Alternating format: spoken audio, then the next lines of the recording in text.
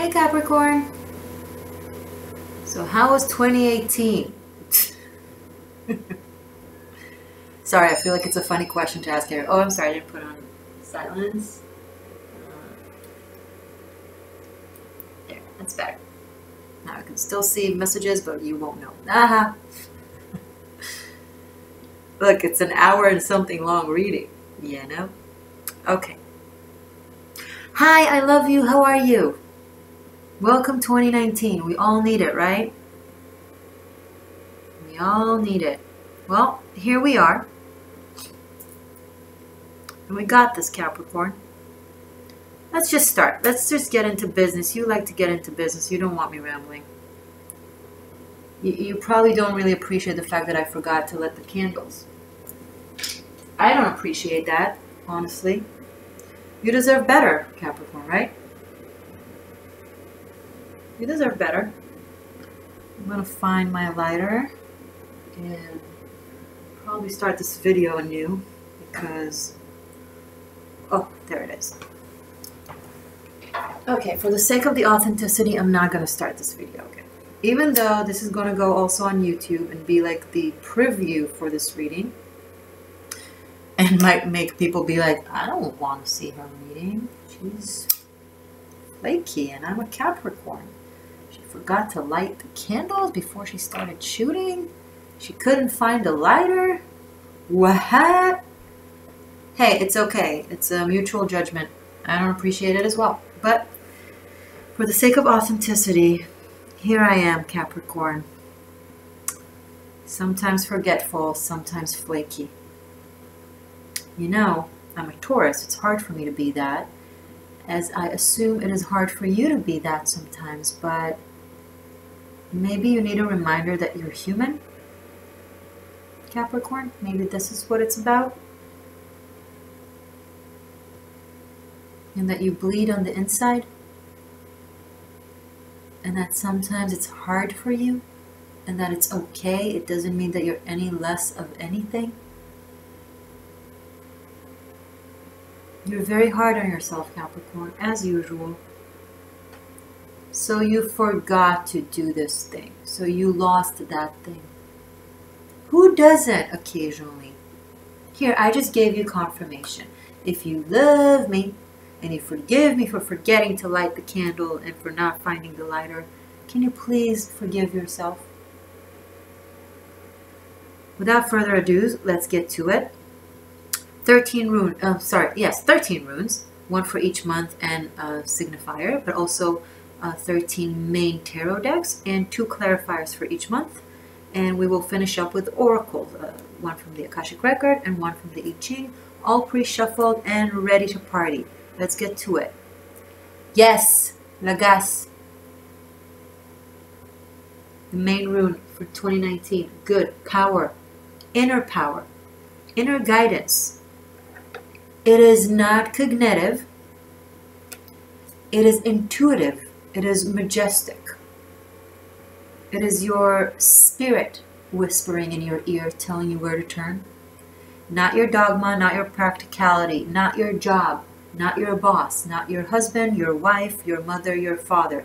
Inside of you, your gut.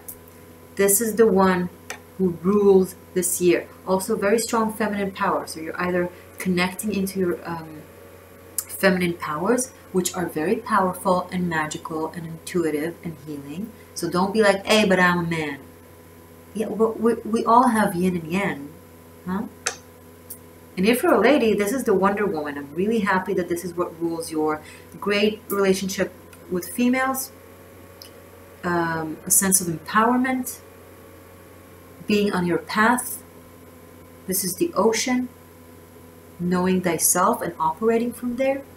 I like to start the lovers. Dun, dun, dun. Some of you, it's the obvious, you have to choose a woman. You're making a choice.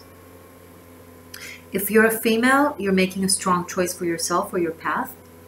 You're honoring yourself and your um, independence and your strength, and that is very appealing to the other sex.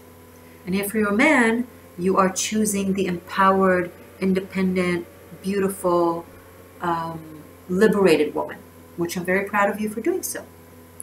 Either way, good. Wow, Ten of Cups and the Emperor. Celtic Tarot. Modern day versus Celtic day. It's a really beautiful deck. And this is the After Tarot. So, wow, the Lovers with Laguz, with the Emperor, and the um, Ten of Cups. So, strong masculinity, strong femininity. Two lovers approaching and touching each other, and the Ten of Cups. The choice is clear. Who you are with is clear, and you're making it work. So 2019 is strong bond, camaraderie between you and a significant other.